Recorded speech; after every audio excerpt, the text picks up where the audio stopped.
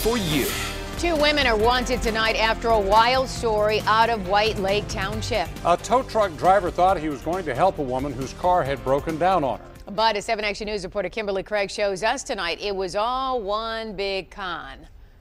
It hurts. And it's just, you know, they come in your personal house and, and they took you know, stuff that I can't replace. Brian Dunleavy, a tow truck driver, was set up, and the target was his home here in White Lake Township. And this is one of the suspects police are looking for.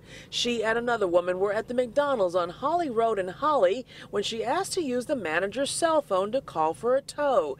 They reached Dunleavy, and it seemed someone was also watching him. And as soon as my truck pulled out, that's when they came in. They knew that I was going to be 25 minutes there and 25 minutes back. So they figured they had 50 minutes to get in the house. And how did they get in? Front door, busted the front door right down.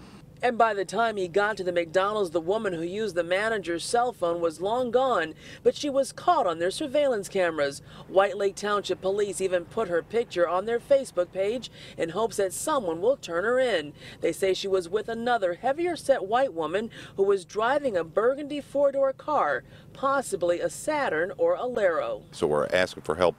Anybody that knows that particular picture, um, give us a call, help us identify that person it's going to get out there. You are going to be caught. By the time Dunleavy returned home, he knew it was all a setup.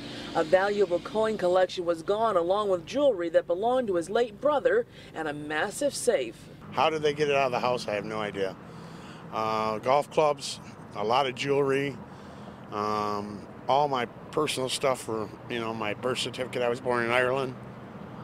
That was in there. But, you know, with this happening, I, I put cameras throughout the house. I put in a, a uh, nice alarm system, brand new front door. Uh, this isn't going to happen to me again, I hope. So if you could identify this woman, please call White Lake Township Police. Kimberly Craig, 7 Action News.